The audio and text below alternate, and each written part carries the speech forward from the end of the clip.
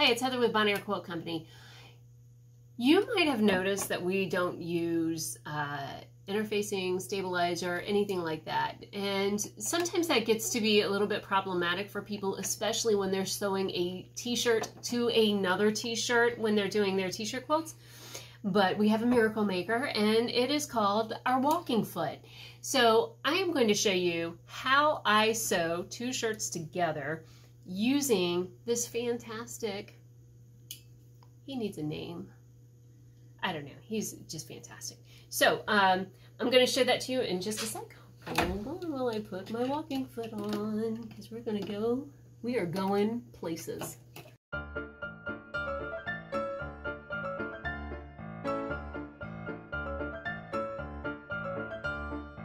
So you've got your t-shirts. You need to sew them together.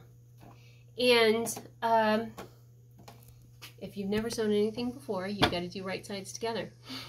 so, uh, hot tip, don't sew anything on upside down. Done it many times, it's a pain.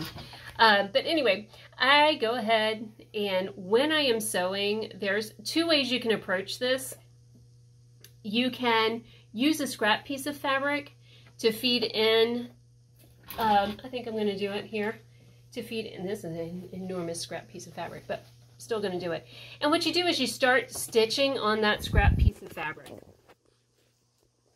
And my walking foot does not have a quarter inch on it.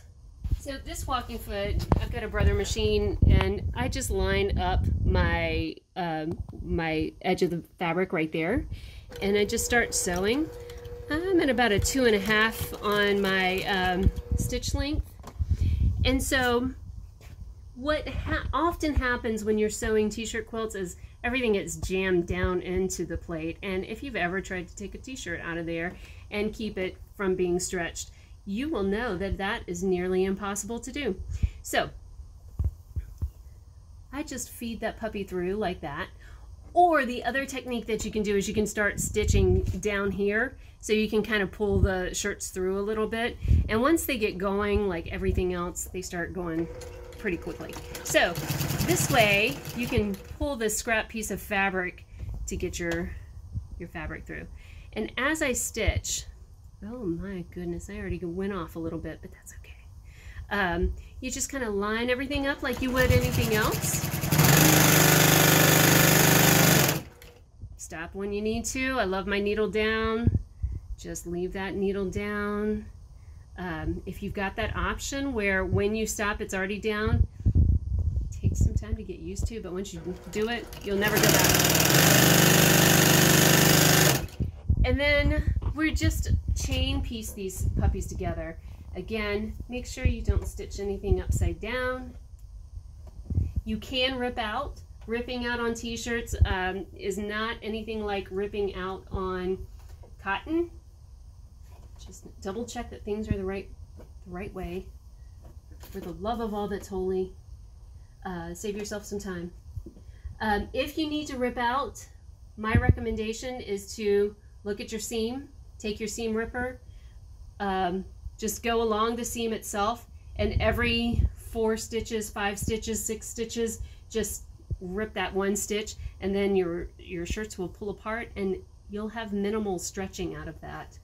It usually preserves the shape of the shirt very nicely. Um, if it doesn't, then you have you need to rip more stitches as you're going.